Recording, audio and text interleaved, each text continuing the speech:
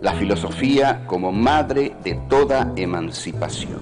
¿Por qué es Heidegger el más importante filósofo del siglo XX? Hay nazismo en Ser y Tiempo, Domingo Faustino Sarmiento y el libro más excepcional, Facundo, Civilización y Barbarie, el gran libro sobre América Latina.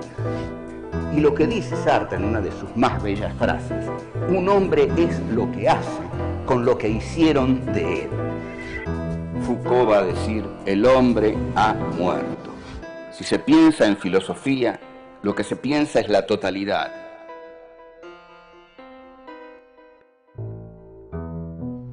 Encuentro 6. Sartre, el hombre y las cosas. El filósofo más grande.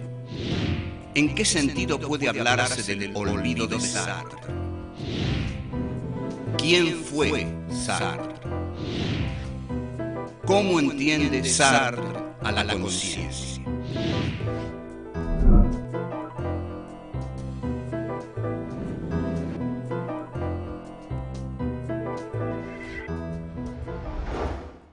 En este eh, encuentro eh, vamos a hablar de algo que es enormemente placentero para mí y de lo que nunca creí poder hablar por televisión.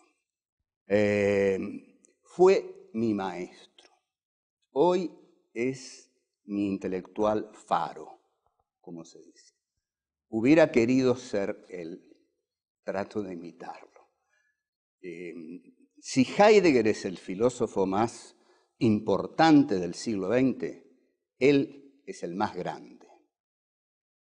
También es el más olvidado en estos momentos tristes de la historia del pensamiento. Eh, me refiero al filósofo francés Jean-Paul Sartre, que nació en 1905 y que hizo de la filosofía un arma de compromiso con las luchas sociales y políticas de su tiempo y de la literatura también. Eh, creo que fue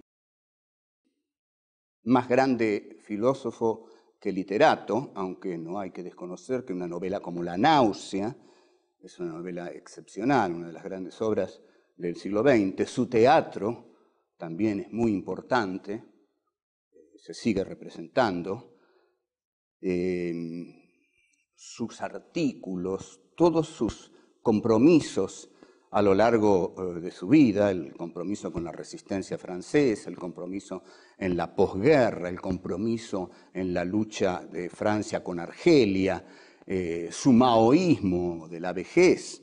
Este, Sartre tenía 66, eh, 67 años y salía a vender por las calles de París un periódico maoísta que editaban unos jóvenes que estaban con él. Él lo vendía este, y les decía a los pibes, qué lástima, me duelen mucho las rodillas, pero voy a salir a venderlo igual. Y la gente se encontraba en la calle con Jean-Paul Sartre que le decía, ¿quiere comprar el periódico maoísta? Eh, creo, creo también que hoy estaría dando eh, clases de filosofía por televisión. Creo que la necesidad de Sartre de transmitir lo que él sabía lo llevaba a transmitirlo por todos los medios posibles, porque se daba cuenta de que era muy importante llevarle eh, a la mayor cantidad posible de gente la certeza de que el hombre vino a este mundo para ser libre, para ser libre. En consecuencia, este, publicó novelas, escribió obras de teatro, publicó grandes ensayos eh, filosóficos, este, viajó, se equivocó, se equivocó y acertó muchísimo. Y es también algo inusual entre los filósofos, un, escritor excepcional, un estilista maravilloso, un gran escritor que ganó el premio Nobel a comienzos de la década del 60 y como era Jean-Paul Sartre, lo rechazó. Em, vamos a empezar a hablar de eh, su filosofía, eh, porque hoy hay un olvido de Sartre. Hay un olvido de Sartre. ¿Por qué Sartre está olvidado? Bueno, porque Sartre les dice a los señores filósofos académicos de hoy, les dice, miren, la filosofía no es para apoltronarse en las universidades, la filosofía es para sacarla a la calle, la filosofía tiene que comprometerse con el barro de la historia. Yo acabo de sacar un libro de 800 y pico de páginas que se llama La filosofía y el barro de la historia, y es un título sartreano, la filosofía y el barro de la historia. La filosofía está para ensuciarse, no está para los papers académicos, digamos, para los congresos internacionales a los cuales los filósofos viajan en clase business, por ejemplo, este, y cobran sueldos muy buenos en las universidades del primer mundo, y acá, bueno, digamos, siguen eh, linealmente lo que viene desde eh, las universidades del primer mundo. Sartre era un creador constante, era un, fanático de las anfetaminas, este, las combinaba con cerveza, lo cual no es muy saludable, y era un, autodestructivo eh, profundo. Pero eh, su formación fue tremendamente rigurosa, fue, creo, el filósofo francés que más rigurosamente se formó. En 1933 viaja a Berlín para estudiar la filosofía de Edmund Husserl, la fenomenología. Y ahí también estudia, estudia muy profundamente ser y tiempo. Eh, no se enteró para nada de lo que pasaba en Alemania en 1933, él era muy joven y estaba totalmente devorado por sus lecturas. Introduce la fenomenología en Francia con un texto excepcional de 1938 que se llama La trascendencia del ego. Este es el texto que eh, introduce la fenomenología en Francia, aunque eh, es, bien cierto que hubo unos cursos muy famosos de Alexandre Koyev, un filósofo ruso, que este, comenzó a dar unos cursos eh, sobre Hegel, sobre Hegel y la dialéctica del amo y el esclavo. Y a esos cursos asistieron eh, personajes como Jacques Lacan, Raymond Queneau, Maurice Merleau-Ponty y otros, Jean Hippolyte posiblemente, y Sartre consiguió los apuntes. Este, de modo que Koyev marcó a toda esa generación francesa y marcó también a Sartre.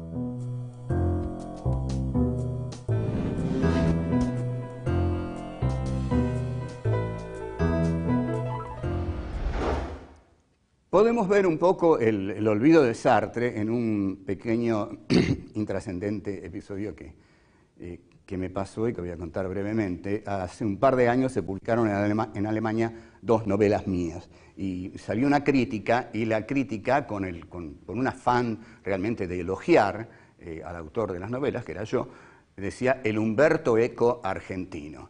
Yo me sentí mal.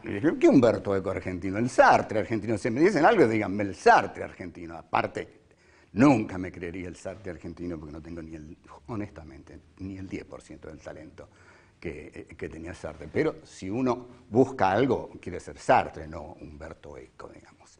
Eh, pero también eso revela el olvido de Sartre. Cuando tuvieron que pensar en un tipo que escribía ensayos y novelas o teatro, en fin, eh, pensaron Humberto Eco y se olvidaron de Sartre, que era el filósofo que dio entidad a ese personaje filosófico, ¿no? que abarca todos los géneros, que está en todas las situaciones, que se compromete políticamente. Bueno, eh, Sartre em, eh, luchó, estuvo en la resistencia francesa, este, estuvo brevemente en un campo de concentración, y publica este, su obra eh, cumbre hasta ese momento, El ser y la nada, L'être et en 1930 y 43. Eh, Esa obra llega a la Argentina, este, traducida eh, medianamente, medianamente por Miguel Ángel Virasoro en tres tomos, y acá la cosa explota. El existencialismo arrasa en Francia y en la Argentina, ¿no? que es un país muy inquieto. Eh, en Francia fue el, movimiento filosófico de moda de la posguerra y Sartre era su gran estrella. Este, como dice Gilles Deleuze en un artículo que se llama Fue mi maestro, muy lindo artículo de Deleuze en el que reconoce Fue mi maestro, y dice, Sartre revolucionó todo. Eh, salíamos de la guerra, todo era eh, terrible, sombrío, este, y, empezó a revolucionar todo, a agitar todas las aguas. Sacó L'État Moderne, los tiempos modernos, una, una revista mítica, eh, eh, excepcional, este, comenzó a polemizar con todos, escribió reflexiones sobre la cuestión judía, reflexiones sobre la cuestión judía, uno de cuyos párrafos dice, y escuchen bien el estilo de Sartre, si el judío no existiera, el antisemita lo inventaría. Eh, bueno, este estilo contundente, compacto, que golpea, era el estilo de, Jean-Paul Sartre. Bueno, están las caves existencialistas, los sótanos, eh, la cantante Juliette Greco, para la cual Sartre hasta escribe una canción, eh, bueno, forma una pareja eh, abierta con la escritora Simone de Beauvoir, la autora de El segundo sexo, y aquí en la Argentina lo reciben este, muy creativamente Oscar Mazota, Oscar Mazota, la gente de la revista Contorno, gente de la revista Contorno, este, y, este, por ejemplo, eh, eh, Juan José Sebrelli, en ese momento muy, muy joven y todavía sin haber adherido a López Murphy este, y a otros que, adhirió después, porque, bueno, eh, no habían aparecido todavía, pero en ese momento era, muy joven y estudió este, bastante bien a Sartre, tanto que uno no se explica viendo estudiado también a Sartre cómo va. como hizo otras cosas, pero no importa.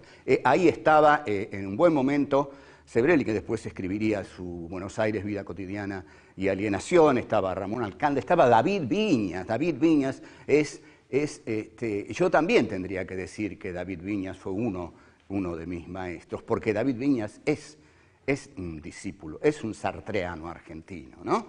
David Viñas escribe Literatura Argentina y Realidad Política, que es un fundamental ensayo argentino sobre literatura, y escribe, por ejemplo, Los Dueños de la Tierra, Dar la Cara, eh, eh, que son dos excelentes novelas de David que a mí me gustan mucho. Bueno, eh, Sartre, este, lo que decía Sartre este, era, digamos, este, tenido muy, muy en cuenta. Por ejemplo, en la batalla de Argelia, la película de Guido Pontecorvo, se muestra al eh, general Mathieu, que es el general Massou, en realidad, el represor de los insurgentes argelinos, que los periodistas se le acercan y este, este general dice a los periodistas, ¿y qué está pasando en París? Y le dicen, y Sartre sacó otro artículo contra usted. Y el tipo dice, me pregunto por qué los Sartre están siempre en la vereda de enfrente. Y un periodista le pregunta, ¿usted lo admira? No sé, pero me gustaría tenerlo conmigo. Y la frase es muy interesante porque ser Sartre es estar siempre en la vereda de enfrente. ¿eh? Esta es una frase de Eduardo Gruner, que también es un sartreano, que es un tipo bárbaro, que piensa bien, que escribe bien. Es un apasionado sartreano, Gruner. Y Gruner dice, ser Sartre es estar siempre en la vereda de enfrente. Eso es ser Sartre. Es decir, ser Sartre es un tipo que está siempre contra el poder, este, que eh, no por un capricho, sino porque considera que eh, la filosofía debe ser el ejercicio de la libertad. La filosofía de Sartre es la filosofía de la libertad del sujeto. El sujeto es libre y el sujeto al ser libre siempre puede cambiar la historia. Por eso uno ama a Sartre, porque Sartre dice esto, el hombre vive alienado, pero antes de alienarse fue libre. Es posible la alienación porque antes existió la libertad. Lo que hay que hacer es volverla a conquistar. ¿Qué le parece esto? Notable.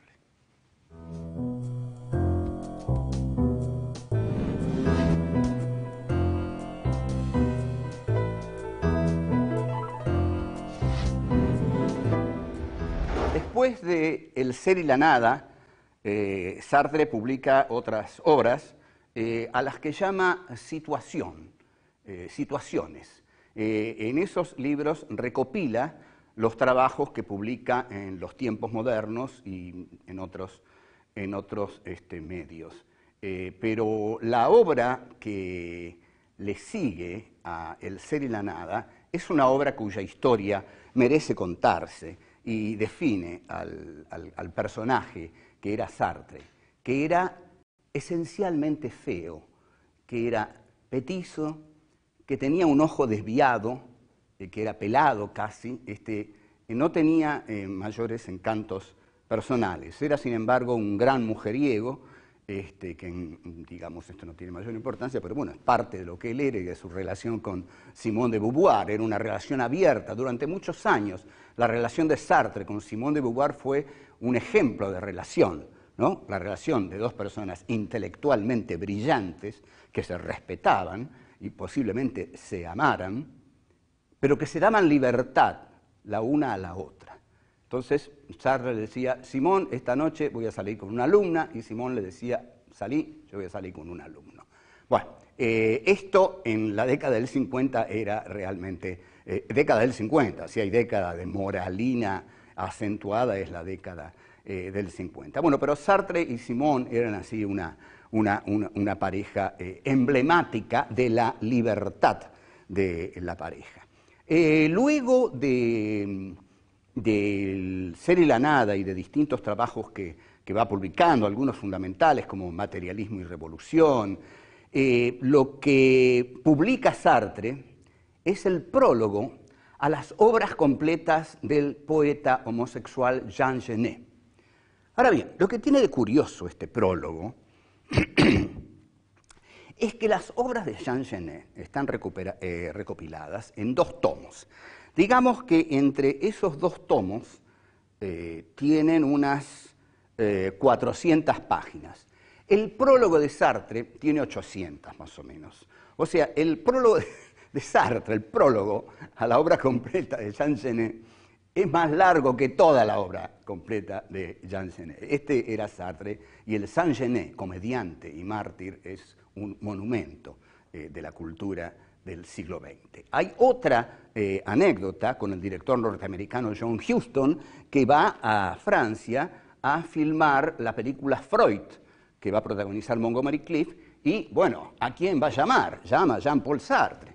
Sartre lo va a ver y John Huston le dice, Monsieur, este, necesito un guion cinematográfico. Sartre había escrito algunos guiones cinematográficos, algunos se habían filmado.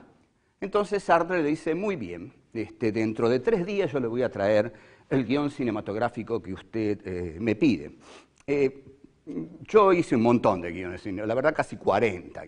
Cobré, no todos, pero 15 se filmaron y unos cuantos conseguí cobrarlos. En un guion cinematográfico, 120, 130 páginas, digamos. Sartre le lleva a John Huston un guion de 700 páginas para hacer la película sobre Freud. Houston, cuando ve el guion, dice, este hombre no tiene la más mínima idea de lo que es el cine. Le había llevado una obra monumental sobre Freud en tres días, cuatro días.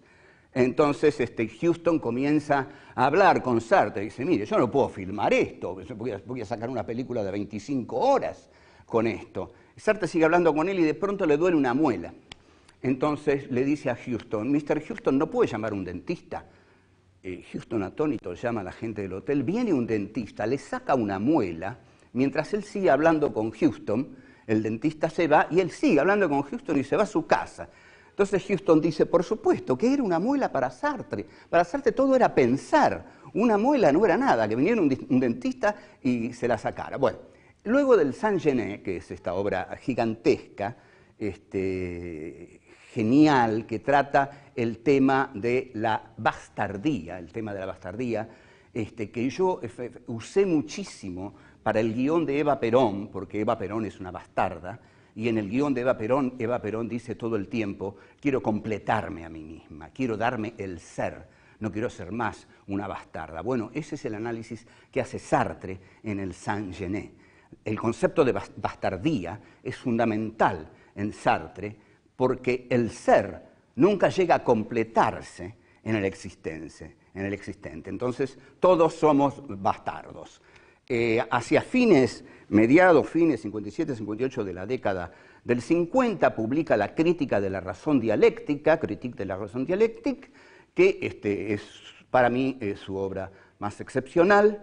y luego eh, sufre una tremenda agresión por parte de todo el movimiento estructuralista, postestructuralista, escribe el prólogo al libro de Fanon, que tuvo enorme importancia aquí en la Argentina para los sectores de la lucha armada, es muy importante, y este, finalmente, finalmente escribe su último libro, un inmenso trabajo sobre Gustave Flaubert, que se llama El idiota de la familia, que llega casi a las 2.000 páginas y no llega ni a Madame Bovary, la obra eh, cumbre de Flaubert. Sartre escribe 2.000 páginas sobre Flaubert y la interrumpe porque no da más y no llegó a Madame Bovary. Bueno, así era Sartre.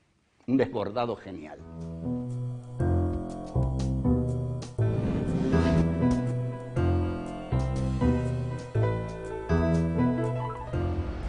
El problema con Jean-Paul Sartre eh, desde el comienzo fue que muchos creían ser existencialistas y ser sartreanos porque habían leído sus novelas, porque habían leído La náusea, Los caminos de la libertad, porque habían leído las obras de teatro, Las moscas, este, A puertas cerradas, este, muchas, muchas obras de teatro. Escribió esto El diablo y Dios, estoy olvidando muchas.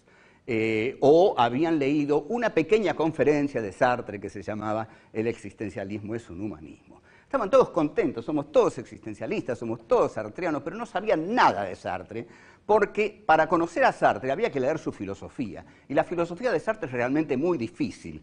Así que estaba lleno de existencialistas que no sabían un pito sobre eh, su maestro, digamos, sobre la figura que los iluminaba. Entonces, cuando se pusieron a hacer el esfuerzo de leer La trascendencia del ego o El ser y la nada, se asustaron mucho, dijeron, no entiendo nada de esto, y ahí no dejaron de ser satrianos, seguían hablando de las novelas, pero es un autor que en sus textos filosóficos requiere enorme esfuerzo para ser aprendido. Así que vamos a ponernos muy serios y a tratar de transmitirlo. La trascendencia del ego es un texto de 1938 que, tal como lo indica eh, su título, habla de la trascendencia de la conciencia. Sartre es un filósofo de la conciencia, es un fenomenólogo, es un filósofo que parte de la intencionalidad de la conciencia. ¿Esto qué quiere decir? Lo había aprendido en Husserl, el creador de la fenomenología, en Ideas 1, Ideas 2. Esto quiere decir que la conciencia nunca reposa en sí. No es el sujeto kantiano. La conciencia siempre está intencionando sobre el mundo. ¿Eh? No tenemos algo, una subjetividad en nosotros mismos, sino que nuestra subjetividad, nuestra conciencia intenciona sobre el mundo, es pura intencionalidad, está arrojada sobre el mundo. Vamos a dar un ejemplo, un ejemplo que da Sartre. Eh, da este ejemplo y da el ejemplo con el tranvía. Bueno, pongamos el tranvía, en la época de Sartre había tranvías. Sartre dice, cuando yo corro un tranvía para alcanzarlo, soy conciencia corriendo tranvía. No soy otra cosa. Conciencia corriendo tranvía. Porque la conciencia es conciencia de sí cuando es conciencia de mundo. Y el D lo pone entre paréntesis. Solo puedo ser conciencia de sí porque tengo conciencia de mundo. La conciencia y el mundo son correlativos. No hay una conciencia por esto es fundamental. No hay una conciencia por un lado y un mundo por otro. Hay conciencia, mundo. Cuando yo corro el tranvía, hay conciencia, tranvía. Si en el momento de correr el tranvía yo digo, yo estoy corriendo el tranvía, lo perdí al tranvía, lo perdí. Porque ahí aparece el momento del yo, que es el momento de la reflexión, dice Sartre. Nadie puede, nadie puede decir yo estoy corriendo el tranvía, porque yo es un momento derivado, derivado. Yo es un momento en el cual uno toma conciencia de que uno es un yo.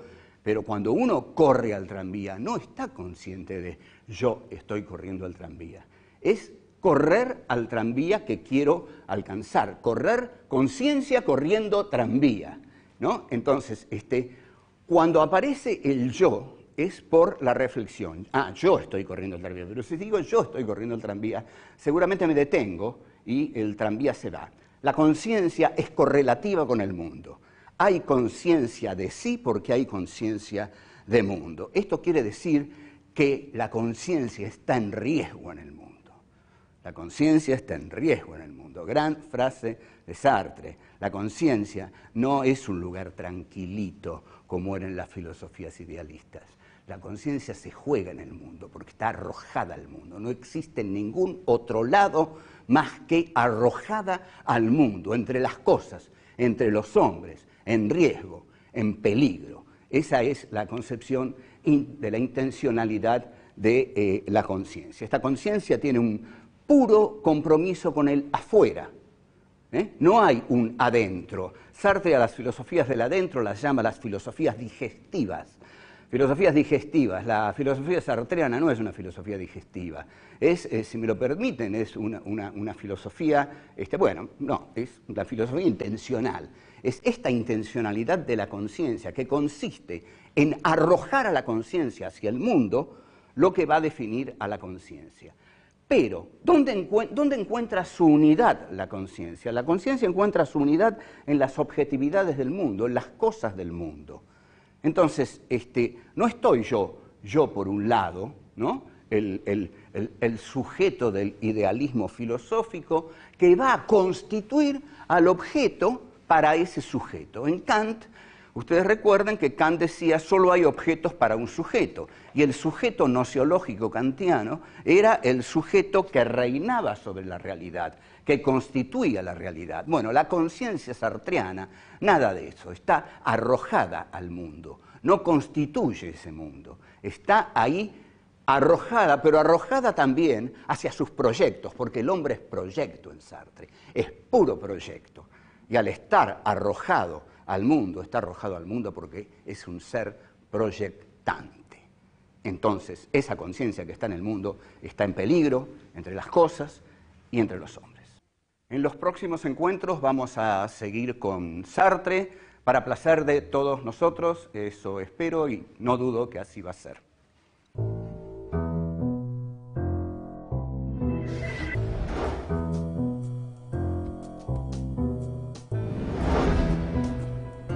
La conciencia sartreana está ahí arrojada, pero arrojada también hacia su proyecto.